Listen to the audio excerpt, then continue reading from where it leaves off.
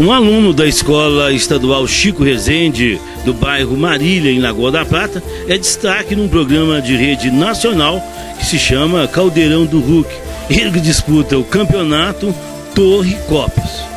É, Vitor, para você, o que, que é disputar esse campeonato, né? Estar representando a cidade de Lagoa da Prata e também aí o, a sua escola Chico Rezende. Ah, eu achei muito bom né, estar disputando o campeonato, porque eu treino o Torre Copos há mais de um ano, um pouco mais de um ano. Então, desde que eu comecei a treinar, eu falei, ah, eu quero ir lá no campeonato. Então, treinei, treinei, tive um tempo entre os 12 melhores do Brasil e acabei indo lá. Na verdade, é assim, primeiro, no primeiro Torre Copos, eles faziam uma seleção estadual, que você tinha que ir até a capital do seu estado, disputar com todos, igual, somos de Minas Gerais, todos mineiros, e daí você ia para um, lá para o Rio de Janeiro entre os 20 melhores. Entre os 20, eu selecionar 12, 12 que ia para a final no programa. É, só que agora, desde o segundo e o terceiro Torre Copos, você só tem que mandar seu vídeo, que eles vão pegar os 12 melhores e já ir direto para o Rio de Janeiro. No Rio de Janeiro já é feita a final.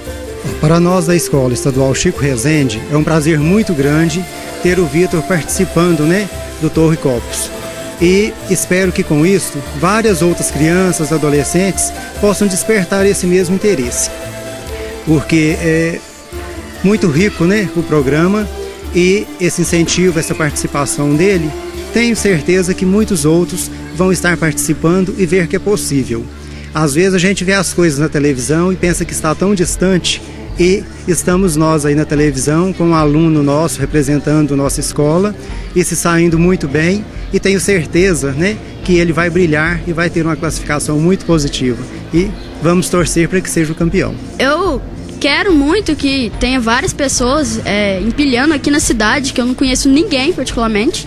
Conheço minha prima, né, que é minha prima, acaba brincando lá em casa.